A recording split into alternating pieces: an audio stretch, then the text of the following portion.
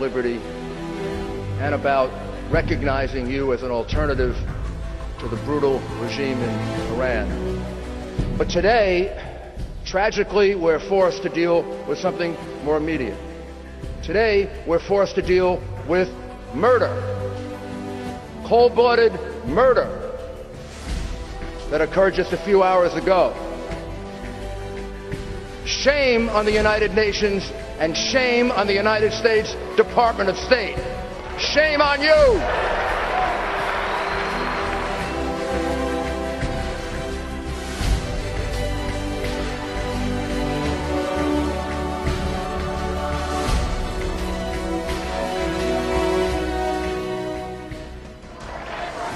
These uh, murders this morning did not have to take place.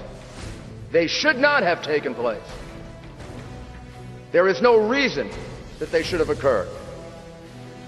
These people moved at the urging of the United Nations and the Secretary of State of the United States. They were under the protection of the United Nations and the United States. There was no reason for this move. About a year ago, in front of a gathering like this, I said that it looked like Camp Liberty would be a concentration camp. When I met on, I believe it was July 1st of 2012 with Martin Kobler in Paris, with Judge Mukasey present and a number of our colleagues, he was insulted that I called it a concentration camp. Well, Martin Kobler, it is not only a concentration camp, it's a killing field.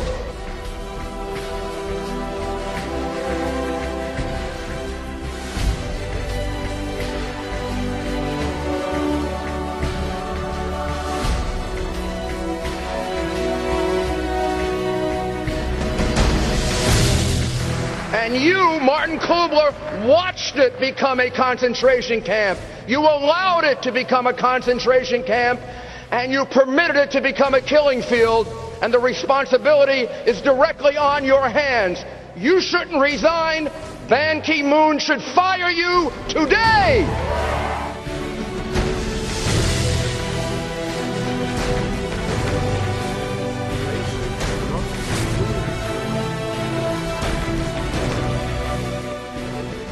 As Patrick Kennedy pointed out, responsibility is not just on the United Nations.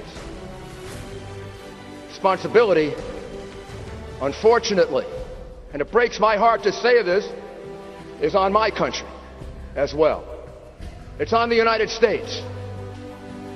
First of all, when these people originally gave up their arms, they handed them over to the United States military.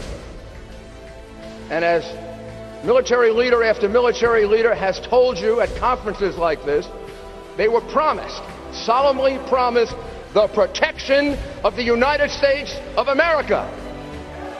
I conclude by saying to those who are listening and will listen, from the families that have lost loved ones today, who have loved ones in hospitals, or maybe not even in hospitals, but wounded uh, by this attack. Our heart goes out to you. Our prayers go to you. And most importantly, we've stood with you, but we stand with you now with even more conviction and with even more determination that these lives will not have been lost in vain. And it will lead, and it will lead under the leadership of Madam Rajavi and your organization to an Iran that is free, democratic, to an Iran that respects human rights, and to an Iran that is peaceful and non-nuclear. We double our commitment, we triple our commitment, and we will not rest until these goals are achieved.